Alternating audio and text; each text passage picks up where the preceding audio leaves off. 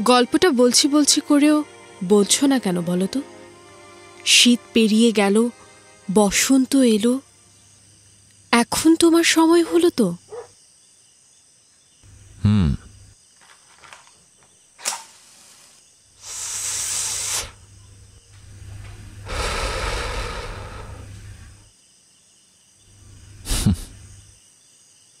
শেষবার। তার সাথে যখন হয়েছে দেখা মাঠের উপরে, বলিলাম,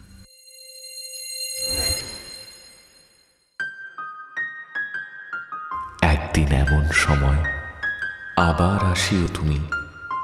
আসিবার ইচ্ছা যদি হয়, পঁচিশ বছর পরে।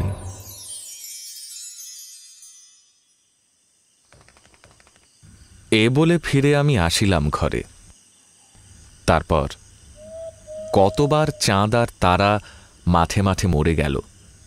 ইঁদুর প্যাঁচারা জ্যোৎস্নায় ধান ক্ষেত খুঁজে এলো গেল। চোখ বুজে কতবার ডানে আর বায়ে ঘুমায়ে পড়িল কত কেউ। রহিলাম জেগে আমি একা।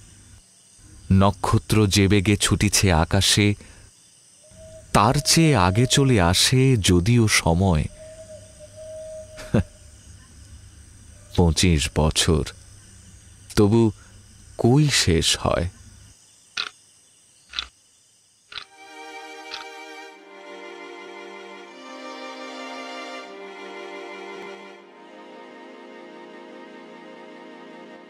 আমি জানি তা।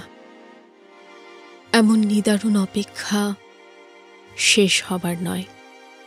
তবে কি তোমার বসন্তেই ভয়? আসিল কি সে অতঃপর? বলো না, কি হলো তারপর? তারপর একদিন আবার হলদে তৃণ ভরে আছে মাঠে। পাতায় শুকনো ডাঁটে ভাসিছে কুয়াশা দিকে দিকে। চড়ুয়ের ভাঙা বাসা শিশিরে গিয়েছে ভিজে। পথের ওপর পাখির ডিমের খোলা। ঠান্ডা কুরু কুরু। শশা ফুল। দু একটা নষ্ট সাদা শশা। মাকড়ের ছেঁড়া জাল।